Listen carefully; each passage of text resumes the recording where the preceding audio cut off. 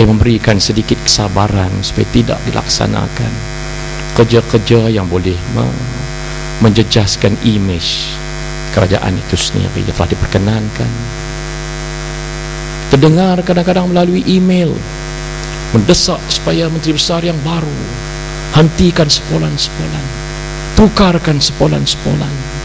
Saudara-saudara ini mem memakan masa untuk kita mengkaji suasana sedemikian kalau diikutkan dan diturutkan hati selama 50 tahun kita duduk dalam suasana cukup sukar. Hatta sahibu samahah nak masuk masjid dalam negeri beberapa negeri pun juga turut dihalang. Mari kita panjangkan kesabaran kita. Kerana inilah merupakan natijah untuk mendapatkan pertolongan daripada Allah SWT wasta'inu bisabri wassalah saya rasakan kalau saudara-saudara boleh sampaikan mesej ini sampai ke peringkat umbi akar maka insyaAllah kita akan buktikan dengan izin Allah sedikit demi sedikit Ambillah ini sebagai cabaran, sebagai tugasan saudara-saudara bila kembali ke tempat masing-masing. Kadang-kadang itu terasa kalau diharapkan pemikiran seorang insan semata-mata dengan dibantu oleh sahabat-sahabat sekeliling. Rasa-rasanya mahu rebah. Tapi oleh kerana mengingatkan amanah yang wajib dilaksanakan, maka terasa sedikit semangat untuk meneruskan. Saudara-saudara lah yang akan memberikan muka-muka semangat itu untuk meneruskan perjuangan bagi menegakkan keadilan yang hari ini satu daripada traits the most the very scarce satu komoditi yang cukup-cukup tidak boleh diperolehi secara mudah. The scarcity of commodity. Apa dia? keadilan. Yang disanjung tinggi oleh seluruh umat. That is the very commodity which is not available readily. Kita nak melaksanakan tugasan kita memberikan hak kepada yang berhak. Memang saudara-saudara tahu terbukti individu-individu. Dan kami di peringkat negeri ini juga berhadapan dengan suasana sedemikian. Kita tidak tahu siapa di keliling kita di atas kita di belakang kita. Yang mahu memperak-perandakan suasana maka perlu diatasi perlu ditangani suasana sedemikian elemen-elemen ini. Dengan suasana yang cukup bijaksana dan cukup berhemah maka kita merayulah kalau boleh. Sebagai contoh saudara-saudara bolehkah seorang menteri besar ini bersembahyang di lima masjid dalam satu Jumaat? Tak. Larat nak mikirnya yo. Punya deranya. Jatuh kuasa masjid Greek telefon yang amat berhormat pukul, pukul berapa yang amat berhormat sampai.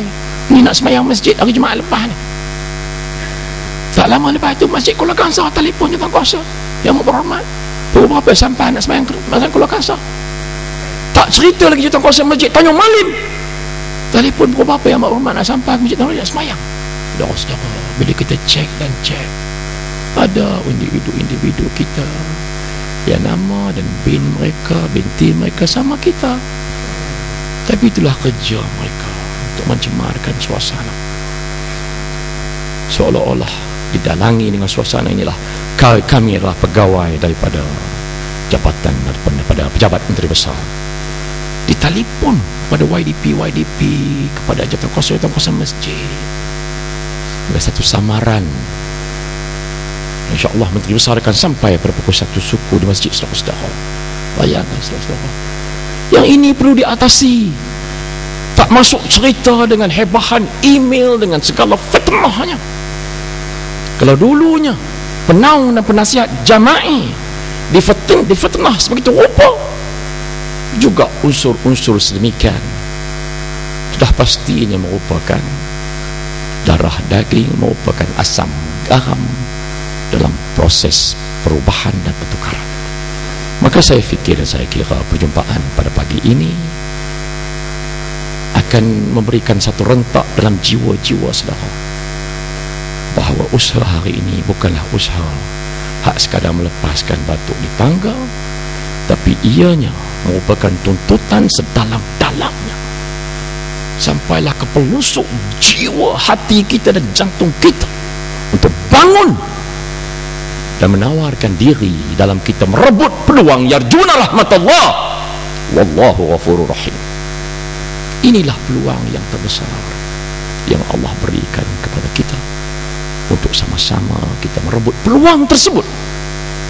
insyaAllah yang boleh kita bawa di hadapan Allah. Saudara-saudara gunakanlah apa jua kesempatan yang ada dalam konteks jama'i pertubuhan yang besar. Jaringkan dengan jama'i-jama'i yang lain di seluruh negeri.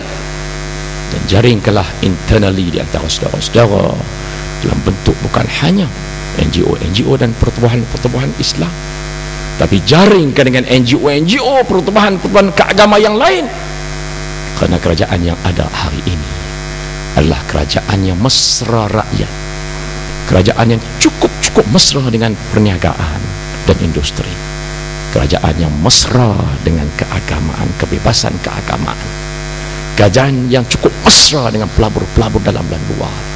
Dan akhirnya kerajaan yang cukup mesra dengan perubahan yang akan dilakukan we are a government which is rakyat friendly business friendly investors friendly religious friendly racial friendly. Saudara-saudara yang rahmati Allah sekalian. Akhirnya bagi meraihkan the, the principles of universalism ya. kita nak mengembalikan hak kepada yang perlu mendapatkan hak tersebut. Yang telah dirampas hak mereka yang hari ini hak itu menunggukan tempat untuk dikembalikan kepada riba-riba individu-individu riba-riba kumpulan-kumpulan yang telah dirampas hak mereka itulah prinsip keadilan menjadi teras kepada kerajaan yang ada saya saudara-saudara bukan menteri besar kepada Parti Islam Malaysia Perak. Saya bukan menteri besar kepada Parti Keadilan Rakyat Perak. Saya juga bukan menteri besar kepada Parti Tindakan Demokratik Perak. Saya merupakan menteri besar kepada seluruh rakyat negeri Perak. Jadi untuk itu ianya perlu difaham-fahamkan sangat. Suasana hari ini walaupun tidak terpikul, walaupun tidak sampai otak-otak manusia memikirkan tapi jika sekiranya Allah menyata kun fayakun kalau begitulah kehendak aku maka ia jadi kita sebagai insan makhluk kerdil meraihkannya di samping tuntutan elemen justice keadilan kita nak menyampaikan sekurang-kurangnya di Perak ini melihat sedikit amanah yang diletakkan di atas bahu-bahu kita hari ini mari sama-sama kita pakat pikul sikit demi sedikit kerana inilah persoalan yang akan dijawab. Persoalan yang akan ditanya oleh Allah Subhanahu Taala. Memberikan amanah kepada mereka yang memang diamanahkan dalam bidang tersebut. Menunjukkan suasana yang akan diharmonikan dengan makhluk-makhluk dan perjalanan sistem-sistem yang mengikut kehendak Allah yang sama. Tapi kalau amanah itu disalah artikan, diletakkan di atas bahu-bahu yang tidak mengerti apakah amanah tersebut, maka sudah tentunya ialah akan menemui kebuntuan dan kehancuran. Yang ketiganya mari sama-sama saudara-saudara prinsip ketelusan transparansi. Hendaklah dipamerkan oleh kerana kejatuhan moral kejatuhan akidah kita adalah disebabkan unsur-unsur yang tidak menunjukkan ada transparansi ada ketelusan dalam melaksanakan tugasan harian seluruhnya dalam pentadbiran dalam perjuangan mencari pimpinan dia tidak ada ketelusan sudah bayangkan ya. itulah yang nak kita beritahu kepada rakyat kita kita mau telus. Dan saya telah buat kenyataan seluruh ahli-ahli majlis bersyarat kerajaan negeri 11 orang 10 termasuk seorang menteri besar. Kita bertekad ya we going to walk the talk. Kita akan isytiharkan segala-gala yang Allah kurniakan kepada kita secara adil secara halal. Kita akan isytiharkan bukan hak sekadar beritahu dan ini akan dipamerkan saudara-saudara boleh lihat. Apakah peruntukan yang Allah telah berikan kepada